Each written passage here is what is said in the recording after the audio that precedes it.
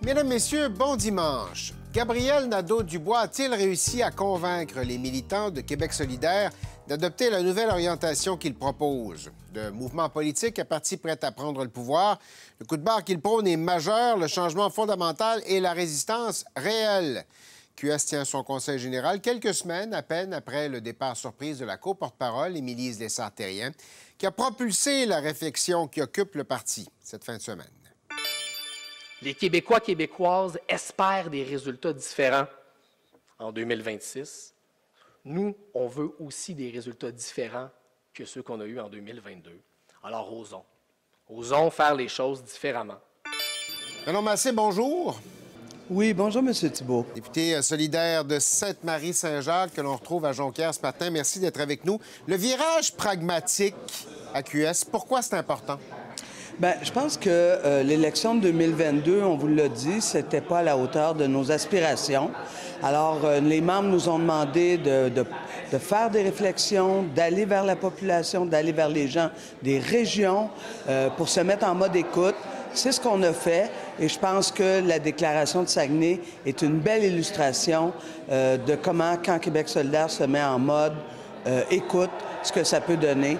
Alors, euh, voilà, c'est ça le grand virage qui, dans les faits, est juste l'enracinement de qui on est. Bon. Vous, originalement, vous étiez membre du mouvement. Là, vous êtes en train de devenir membre d'un parti politique. Vous n'aviez pas adhéré à, à, à cette vision-là originalement. Comment vous avez fait ce cheminement-là? Comment vous vous êtes rendu là où vous êtes aujourd'hui?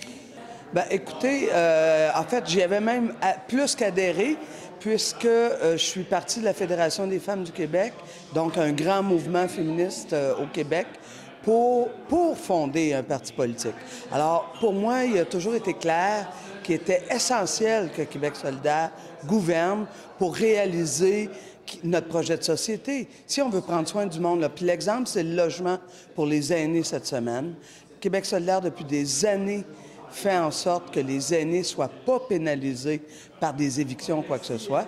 Bien, encore une fois, cette semaine, à l'Assemblée nationale, on a réussi à faire faire un pas de plus à la CAQ, qui voulait rien savoir de ça il y a à peine un mois et demi. Alors donc, oui, on est là, mais pas juste pour être dans l'opposition, mais pour gouverner. C'est ma conviction depuis le jour 1. Il y en a qui ne sont pas d'accord avec vous. Amir Kadir laissait entendre cette semaine que euh, c'était un peu mettre de côté 15 ans de travail de faire cette transition-là? Vous leur dites quoi à ceux qui sont encore sceptiques? Ben, écoutez, premièrement, euh, je pense qu'il n'est absolument pas question de mettre de côté 15 ans de travail. Ça nous a été dit et répété en fin de semaine. Les démarches qui nous sont proposées sont pas de, de nier notre passé, loin de là. C'est de s'enraciner encore plus en 2024 dans nos valeurs puis dans nos principes. Et dans ce sens-là, de penser de, de, de, revisiter, de dépoussiérer une plateforme, puis je vous donne un exemple, M. Thibault, qui avait même pas une ligne sur la question de euh, l'intelligence artificielle ou euh, l'identité euh, numérique. V'là, v'là- v'là 18 ans, on pensait pas à ça. Aujourd'hui, c'est incontournable d'y penser.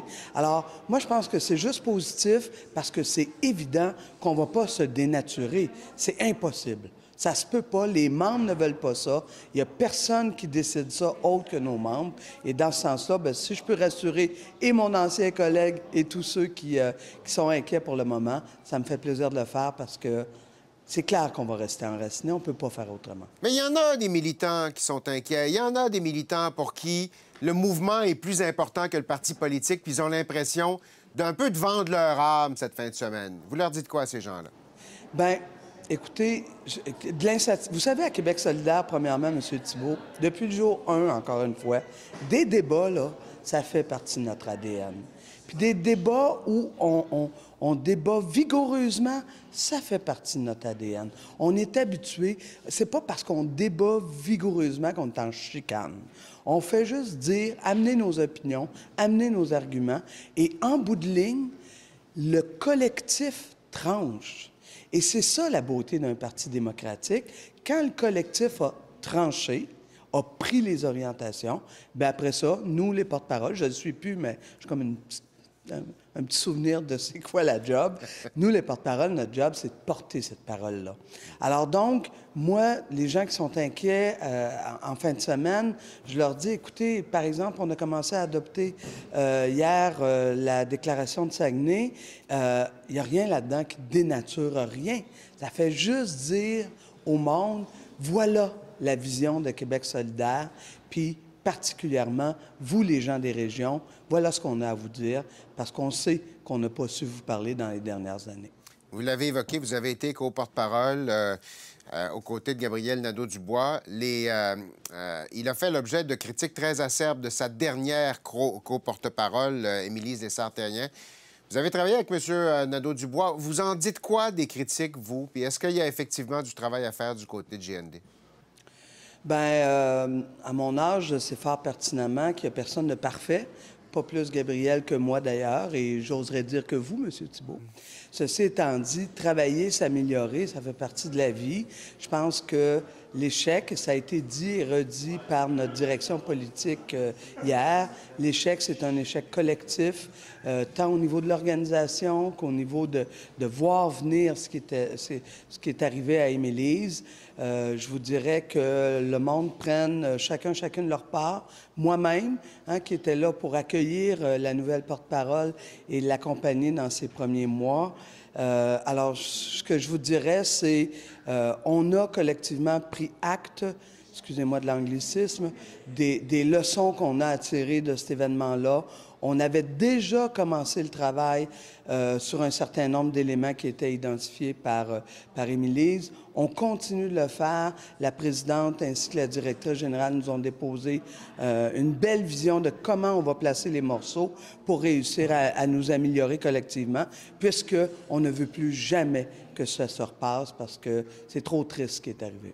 La structure à, deux co-porte-parole, c'est encore indispensable ou c'est le temps de revoir le modèle? Ben moi, j'y crois. J'y crois parce que je me dis, si on n'est pas capable de partager le pouvoir entre deux personnes, puis c'est plus parce que la, direction politique de Québec solidaire, c'est pas juste ces deux co-porte-parole, c'est plus large que ça. Mais bref, si on n'est pas capable de partager le pouvoir euh, à deux, comment on va faire pour le partager avec le peuple québécois? Alors moi, j'y crois, ce modèle-là. Il est exigeant. Il est exigeant parce qu'il est hors norme. Euh, ça a pris des années avant que les gens comprennent c'était quoi cette bébête-là à deux têtes. Euh, mais pour l'avoir exercé euh, pendant sept ans, je vous dirais que quand on arrive à trouver nos espaces, quand on apprend à se connaître comme duo politique, ben, on devient extrêmement puissant parce que la charge mentale est portée sur quatre épaules et non pas sur deux. Alors, moi, j'y crois à ce modèle-là, puis je vais le défendre tant que je serai membre. Madame Massé, il nous reste une vingtaine de secondes. Euh, QS est, plafonne dans les sondages à l'heure actuelle. Comment faire pour, pour euh, fracasser ce plafond-là, d'après vous? Continuer à faire notre travail, M. Thibault. On, est rendu où ce qu'on est rendu aujourd'hui parce qu'on a toujours relevé nos manches. Je pense que la tournée des régions qu'on a fait nous amène à la déclaration de Saguenay qui nous amènera à faire un pas de plus envers les gens des régions. Bref, continuons à faire le travail. Manon Massé, en direct de Jonquière, merci d'avoir été des nôtres ce matin. Un plaisir. Bonne fin de journée.